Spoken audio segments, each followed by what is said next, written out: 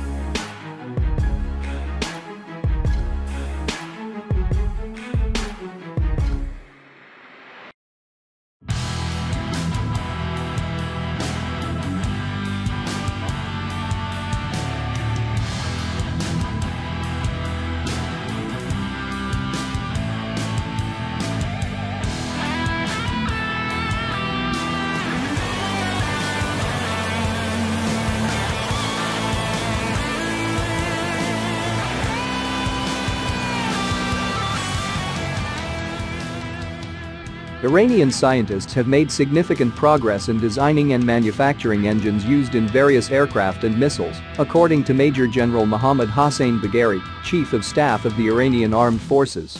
During a visit to a factory producing homegrown Owj turbojet engines, General Bagheri said Iran is now among a select group of countries in the world with the knowledge to manufacture engines for aerial vehicles that are at the cutting edge of technology.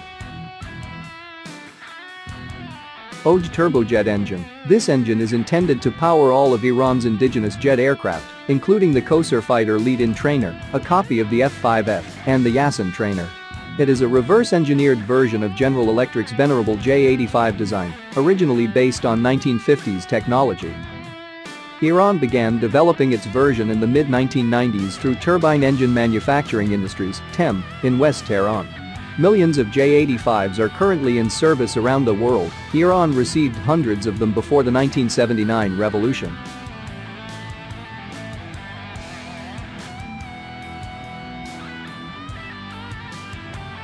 Jahesh 700 light turbofan engine. This engine is a bigger deal than the Owj, given its higher technology and potential particularly in terms of powering high-altitude long-endurance drones.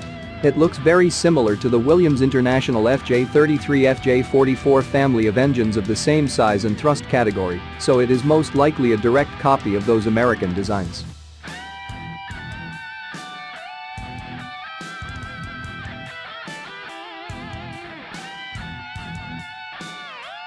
According to General Hatami, it is of the same type that powered the American RQ-170 drone captured by Iran in 2011, but is entirely designed in Iran. He probably meant to imply that the RQ-170 Sentinel is powered by an FJ-33 and that Iran managed to reverse engineer it, even though the Sentinel is generally believed to have a different type of engine.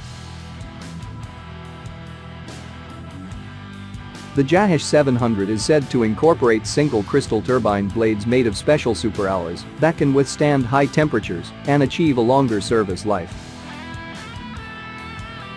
If true, the ability to manufacture single crystal metal engine components would be a new milestone for Iran and a potentially important step on the long path to self-sufficiency in manufacturing larger high-performance jet engines for aviation and the oil-gas power generation sectors. To be sure, developing larger turbofan engines that can remain efficient while sustaining much higher operating temperatures is a tall order it would require Iran to master many other advanced technologies via highly complex and costly processes. If Tehran succeeds on that front, however, it could someday power its own advanced fighter aircraft designs with indigenous engines. Iran has fully matured in designing and manufacturing advanced aerial engines due to the efforts of its experts and scientists, he added, noting that thousands of aircraft, drones, and missiles in Iran have been equipped with homegrown engines. The senior commander also highlighted that all advancements in the defense industry have taken place in the face of harsh foreign sanctions. Iranian officials have frequently stated that the country will not hesitate to develop its military capabilities, particularly its missile industry, which is solely for defensive purposes, and that Iran's defense capabilities will never be negotiated.